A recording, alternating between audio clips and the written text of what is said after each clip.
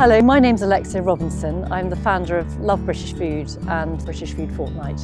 So I set British Food Fortnight up in 2002. It's now in its 15th year, would you believe? It takes place every year. Hundreds of events and activities take place during the two weeks.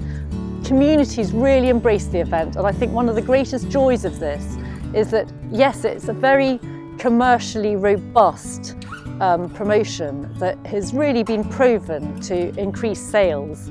British Food presents a tremendous opportunity for the food service sector and this has been proven every year when we've worked with food service organisations during British Food Fortnight.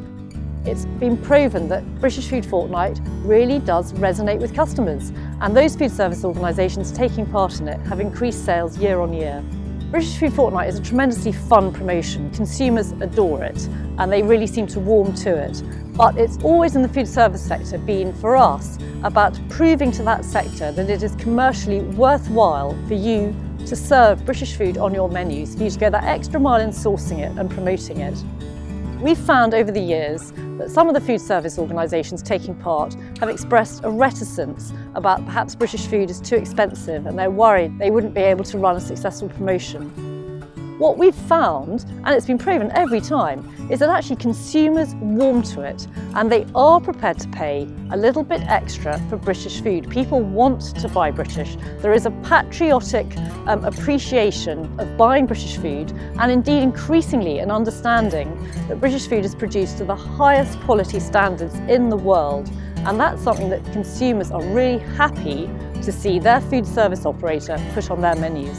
One of the things we love about working with Brakes in particular, um, who've been involved in British Food Fortnight and really partnered with us now for years, is they have such a vast range of over 370 distinctive British products to offer to their customers. They're also able to offer very regionally distinct product. For example, their charcuterie range comes from the Lake District. They have super specialities like Cromer crab, and they're always able to offer a regionally distinctive cheese board.